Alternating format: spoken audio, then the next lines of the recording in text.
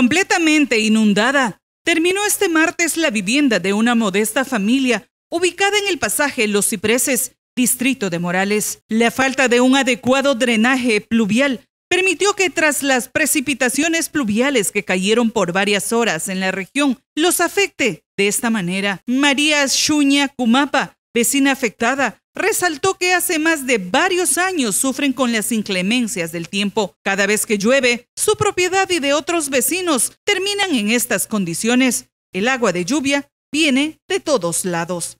Este, bueno, este, hace años que así vive por acá cada cuando llueve nos halaga el agua.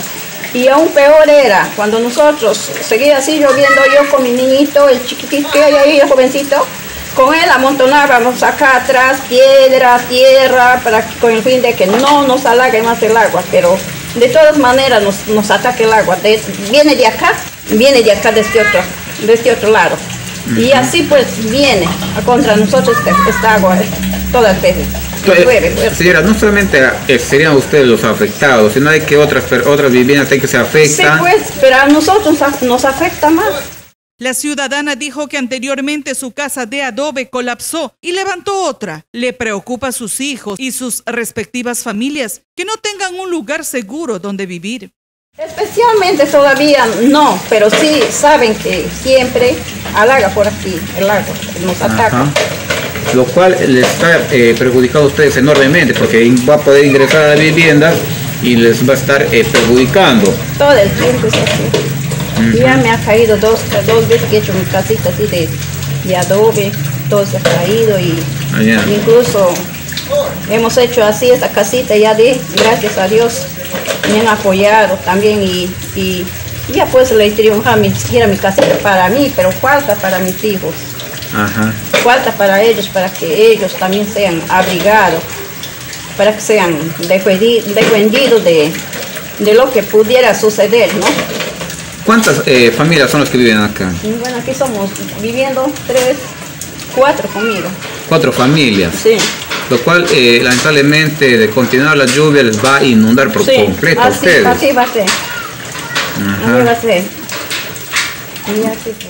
Una vecina vendió su casa para evitar ser damnificada por las aguas pluviales que discurren desde la parte alta del distrito de Morales. Finalmente, pidió apoyo a las autoridades moralinas. Lo menos siquiera una cuneta, que nos apoyarían, pues si quieres hacer una cuneta para que tenga salida el agua, para que no venga contra nosotros. O sea, cada vez que hay lluvia, este problema se da. Así es, así es el problema. Y por esos casos también una familia ya han salido, han vendido y porque así les vivía afectando este agua. Ajá. Y, ya pues han venido a otros, pero si me cambio esa otra persona, también ese vecino que, que ha comprado, no, no está viviendo ahí. Porque, porque sabe que existe un problema, ¿no? Sabe, pues, y él ha dicho que, que va a rellenar ahí, no hay, no hay todavía cuándo, y no se aparece. Bueno, ¿cuál sería el llamado de repente a la municipalidad para que den alguna solución a este problema?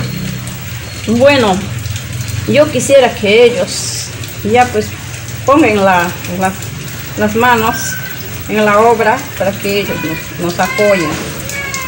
Nos apoyen con, hacer esa, esa cuneta para que nos puedan apoyar en esa forma, para que tenga una salida el, el agua toda vez que llueva, porque nos